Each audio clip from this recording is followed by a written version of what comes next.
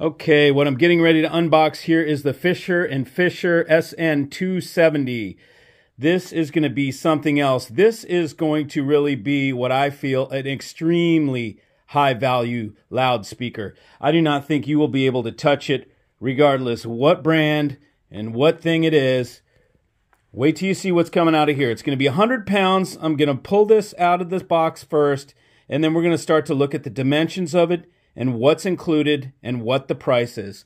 Again, Fischer and Fischer SN270 made 100% in Germany. Hold on. Here we have the SN70 floor standard from Fischer and Fischer of Germany.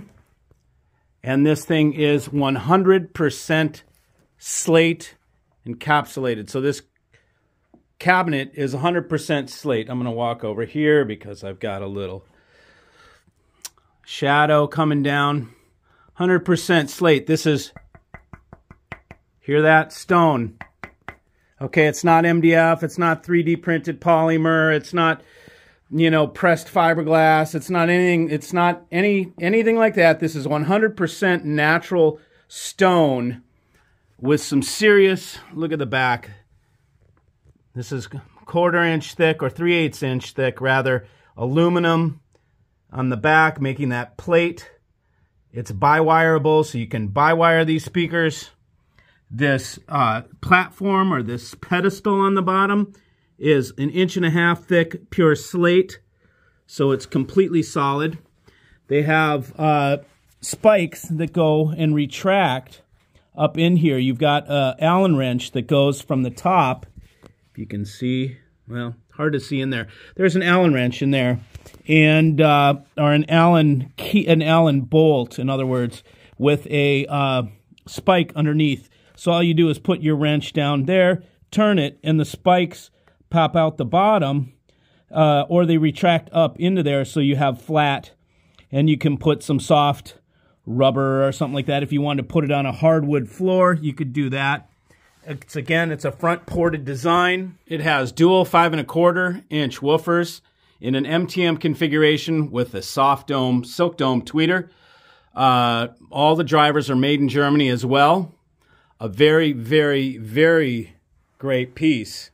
Let me give you the height and the depth. I'm going to give you all the measurements. Let's take this tape measure right here and see we've got 10 inches deep. We're just over seven, maybe seven and a quarter, seven and three eighths wide, and about 40 and a half inches tall. So a really nice slim footprint. This thing matched up with the Jeff Rowland 125 amplifier. Phenomenal, phenomenal. Or a pair of AGD Audions a phenomenal team. And this is being offered right now an introductory price for the first five pairs of only 5750.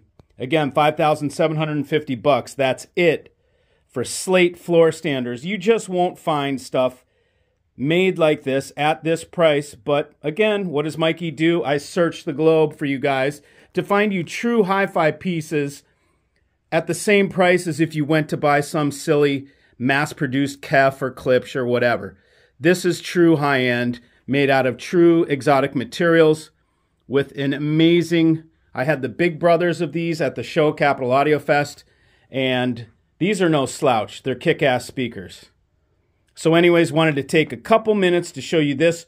I will break these in and then we'll do some listening tests and show you more. So a little comparison of the Fischer and Fischer 770s on the right next to the already pretty decent size Vienna Acoustics D Music, which is the Vienna Acoustics top of the line. So you can sort of see